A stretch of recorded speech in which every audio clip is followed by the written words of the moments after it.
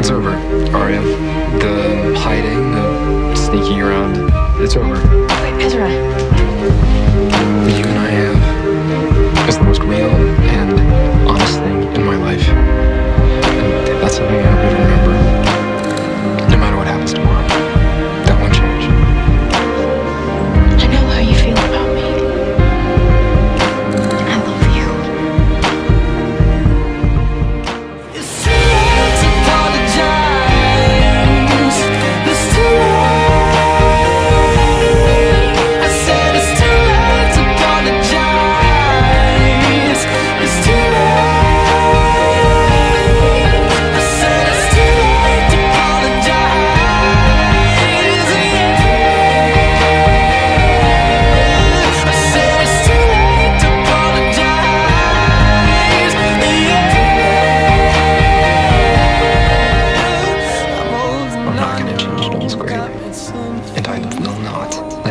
you.